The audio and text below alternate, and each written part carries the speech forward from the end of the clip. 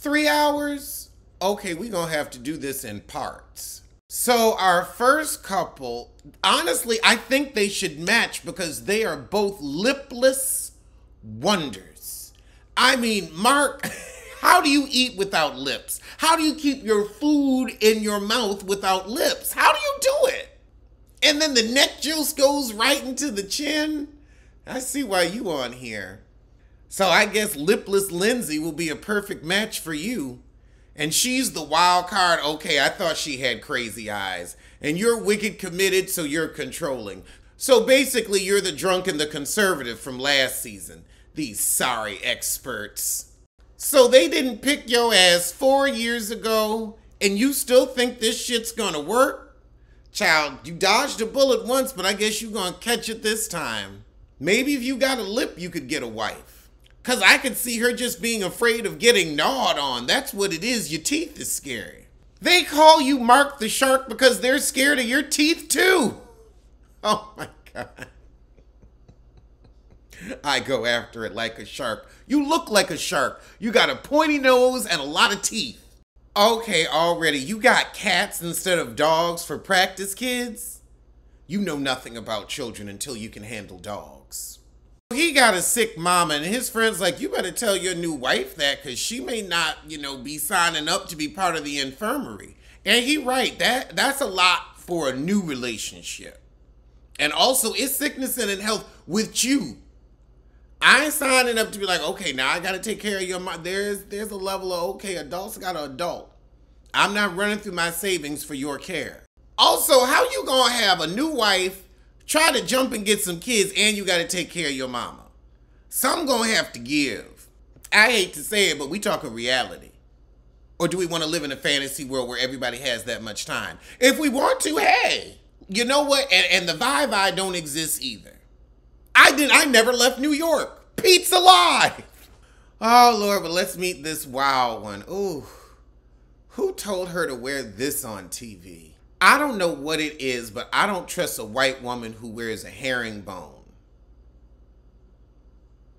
I just, girl, I don't, I don't trust. If go on and date the black man you want to date, then if that's what we're doing, then I could trust it. It's like, oh, okay, all right, you down with it, but uh, uh you, mm, mm, mm, mm. It's like an anklet. It's just something I peep. Lindsay, you're a terrible liar. How do you expect to keep a marriage together? You were engaged last year, and five days before he called it off, you ain't ready. You ain't ready. This guy was in the leftover pile. They had already screened him, and then they took your chicken cutlet butt who fell on the floor, dusted it off real quick, and threw it right back on the plate and handed it to him. Y'all ain't gonna last. Well, you know what? There might be hope. They both have cats. So at least she ain't allergic. Pet allergy needs to be number one. You allergic to my dog, you allergic to me. You see a spark that's red hot that's gonna burn between Mr. and Mrs. Shark. No, you know, cause her mama ain't shit. She gonna be happy to help take care of his and she ain't allergic to cats. That's what y'all base the match on. I watched this show for barely two seasons and I see your sorry ways. Now we have Katina and Olajuwon. This ain't gonna work. She's party chick no more and he's the ex-playboy. You see, you gotta have somebody that ain't gonna be slipping back into old habits. They both gonna be tipping out on each other to go to the club. Olajuwon, fine. He the type of man you bring home from the club. You let him stay for the weekend. You let him stay for the weekend. Cause you know round three in the morning is gonna be real good. And he even will be intelligent enough to do a decent brunch. But after the weekend, you got to let him go because otherwise, it's going to be a disaster. Sounds like he had a pregnancy or an HIV scare. He's like, let me get out of this life. I had to find out who Olajuwon truly is, and I waited two years. Some heifer got married on you. That's what happened. It's one of the three. Oh Lord, he's comparing wife love to mama love. If I could get my wife to love me as much as my mom. Oh. So you're 30 going on 22. Look good though. You look good. A weekend. A weekend. I knew somebody who looked just like that, but I ain't gonna tell my business. But a weekend.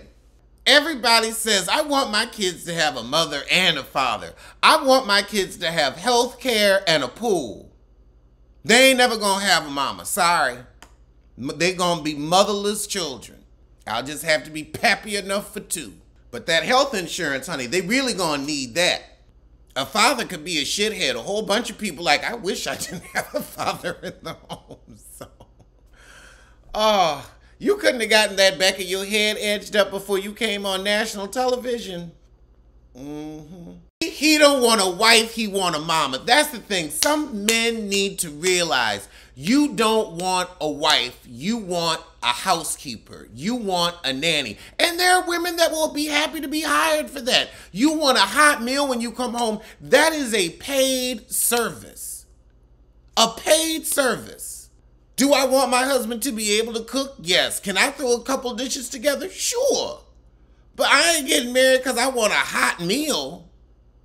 Maybe a hot man. But I mean, if I want a hot meal, a DoorDash a hot meal when I get home. Oh, you want a mother. I, am sorry. Even if I was into women, I would not be like, oh, I'm expecting a hot meal. Maybe on the holidays, I'd be like, but we cook together. I would hope you'd be able to make something. but also, if you can't cook, you just, it's, everybody can't cook. Some people are really, really good at it. Some people, it's like, we could just order. It's fine.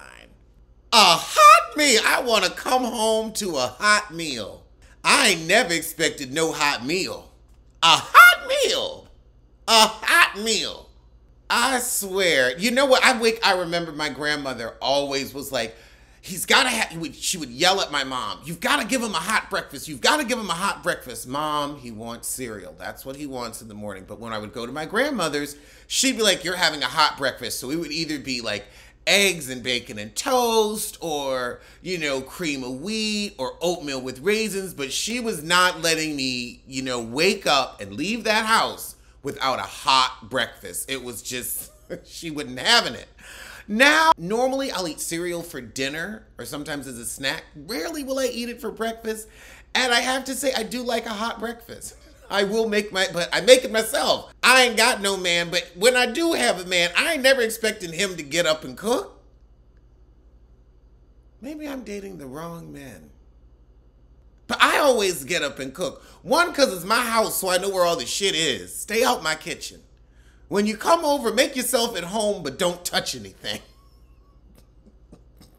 That's the truth. It's like, just ask me. I'll get it. I'll get it. Just Calm down. I might make some some jiffy muffins tonight. I think I have an egg oil. That would that would be nice. That'll hit the spot. I love a blueberry jiffy muffin with some milk. Do people still drink milk?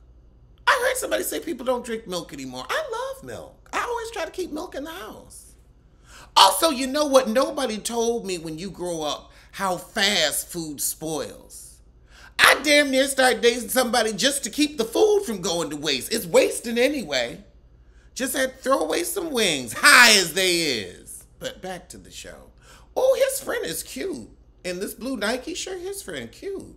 Yeah, he on his chauvinist. I mean, you could just hire a chef. They will bring over some piping hot food or they will make something for you. You can have a little chit chat and then they take their butts home. He gonna say, oh, if she can't cook, that's not a wife. Well, you ain't a husband. Oh, Katina, you nasal. Girl, you nasal. Now I see why you single. Well, I hear it in the nasal. They ain't tired of hearing your awful dating stories. They tired of hearing that voice. Okay, why y'all gonna set this girl up who says I've been cheated, I've been played with an ex-cheater and an ex-player? The, the trust is already broken. Another shitty match. So we have monotone as Steve, and as much adventuring as he does, he seems boring. I mean, he's a year younger than me. Why he looks so old in the face? Shouldn't be nothing going on under the eye. Is anything going on under my eye? And I'm 39. And Beyonce is 41. 41. Hell no! This trip showed me I don't want I don't need a lot to be happy. Throw the whole man away. Next. Next. I do. I need a whole lot to be happy. Well, I don't need it to be happy, but I'm going to have it anyway. I'm going to have it because the white folks said I couldn't. You think I'm about to go on vacation with you sleeping in a car? The fuck? That's dirty ass shit right there. That's dirty ass shit. Oh my goodness, they done done a black version of Panic Room with Nicole Ari Parker, Drea Day, and Drea De Matteo. You know what? I gotta record that. I gotta record that. Safe Room. Oh God, this heifer got an alter ego who likes to wear wigs. Girl, you are not Batman or Catwoman. Hang it up. Our fourth couple is Jasmina and Michael. Jasmina too pretty for him. I can tell you right now. They both treasure their large families with their shared values and cultural ties. Go on and say because they both black. Go on and say it. They wanted a black match. It's okay. It's okay. Cultural ties. They both black. Like we ain't looking at the TV. Miss No Nonsense seems more Miss No Personality. I'm sick of these people saying, I want a big family. I want a big family. You got big family money? Actually, her and Michael might work because he's boring as all hell, too. Now we got Alyssa and Chris, and, and they ain't gonna match.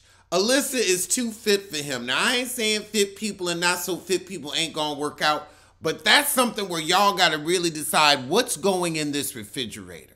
Cause she looked like salad and he looked like steak. Wait, you couldn't even tell your mama you was getting married at first sight? Oh, Lord. I guess this is the hidden sissy of the group.